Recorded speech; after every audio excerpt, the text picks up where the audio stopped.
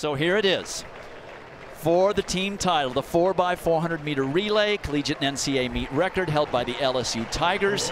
And A&M threatened that on Wednesday in the prelims. The best time was 259.95. But a month ago at the SEC Championships in Columbia, South Carolina, it was the 4x400 relay and the Texas A&M Aggies and the Kerley brothers bringing them home like they have all season long.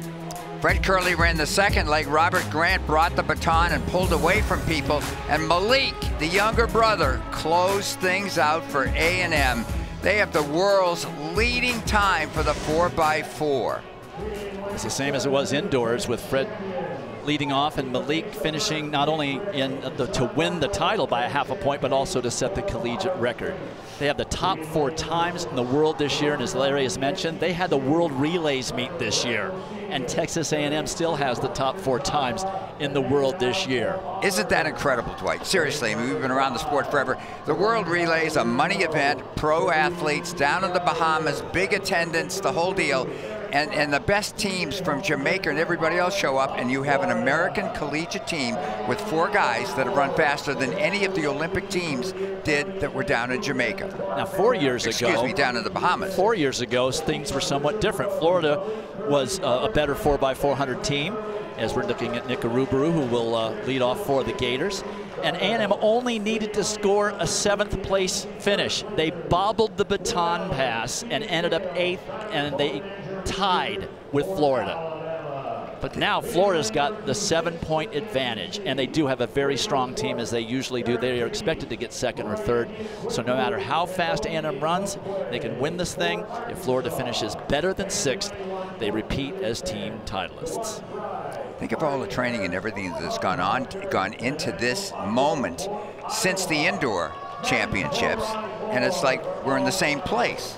By the way, notable absence. Defending champion LSU failed to advance due to a bobbled second exchange in the prelims, which we saw. And they certainly would have made this interesting, maybe put distance between A&M and Florida. So we have to watch these passes carefully. We have to watch lane lines carefully in this first, the first two legs to see if there's any impropriety. You'll see Richard Rose, the sophomore from A&M, on your screen lead off for the Aggies.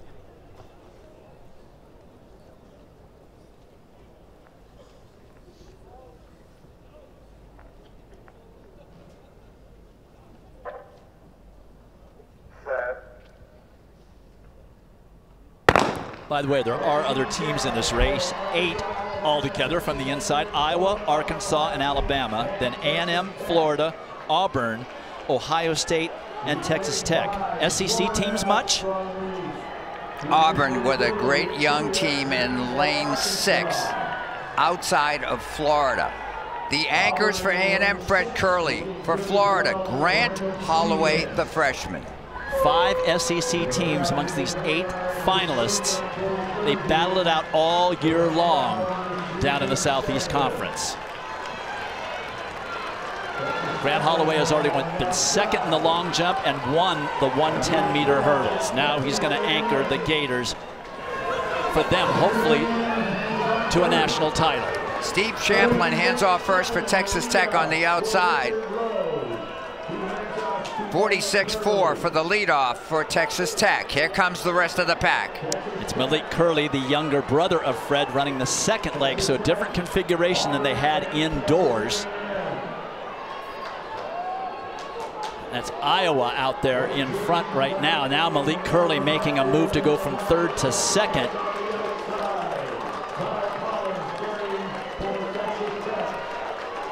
Malik has good 800 meter strength and he's holding well and gaining on Texas Tech. That was Texas Tech. I'm sorry, here's Iowa's now in third. Malik Kerley hanging, handing off to Robert Grant, who took a heck of a tumble in that 400 hurdle final. And for Texas Tech, this is Charles Jones. But Grant doing a great job for A&M. You just have to be careful that he doesn't run out of gas as hard as he's pushing early. Malik Kerley, 44.3 seconds for his leg. Tech continues to lead and hold off A&M.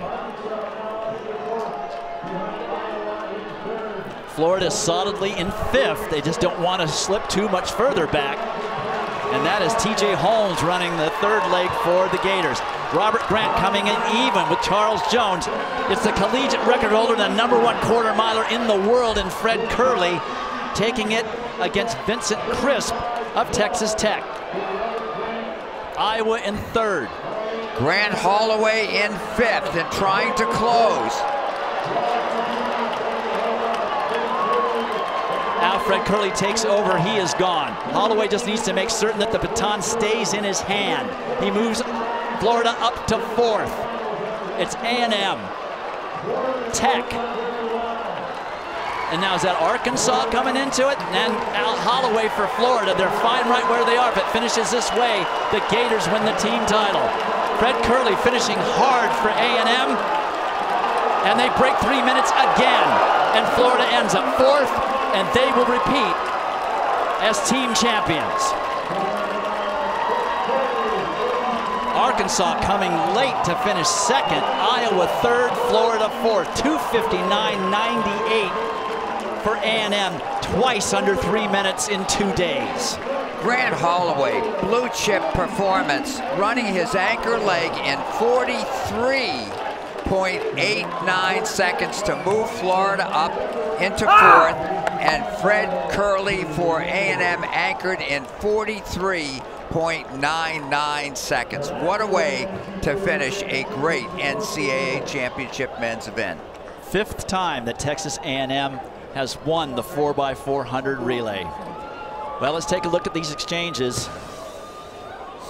So far, we don't see anything that should change the outcome. Right. On the outside, running really well, was the Red Raiders of Texas Tech. And they get there first by a step or two over Arkansas. Excuse me, that was uh, that was Ohio State. But here, things change at this point. Texas Tech still has the lead, but the rest of the field has gained a lot and it was A&M pulling away with Robert Grant getting the baton in first and Florida making up some ground as well on that leg was Eric Fudge. TJ Holmes got the third leg going for Florida, and here is Fred Kerley anchoring so strongly for A&M. But the back of the pack told the story, and it was great closes by TJ Holmes and by Grant Holloway, and an excellent run by Fudge, which moved them up in position to get enough points, Dwight, to take the NCAA title. We may not have this graphically supported yet, but I can tell you that Florida beat A&M by two points in the team title. And A&M did everything they could in that last one